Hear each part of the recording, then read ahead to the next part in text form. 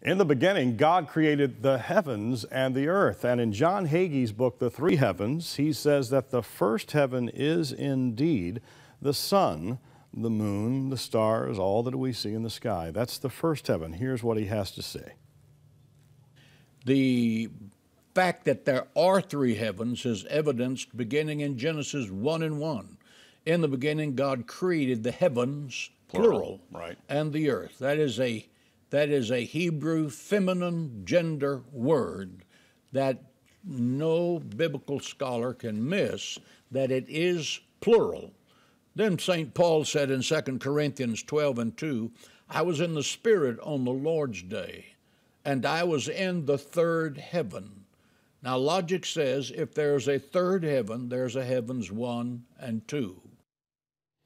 Heaven number one, he describes as being the sun, the stars, and the moon. Heaven number two is that realm where Satan reigns and rules. The demonic power exists where there's demonic activity, where darkness takes place. There's demonic empowerment as well as demon possession of human beings. All that's in the second heaven.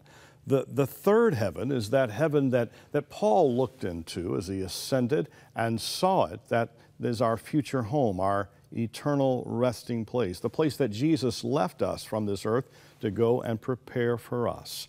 The first, second, third heaven, the three heavens. This week, this went on the New York Times bestseller list. It is one of the most sought after books right now in the world.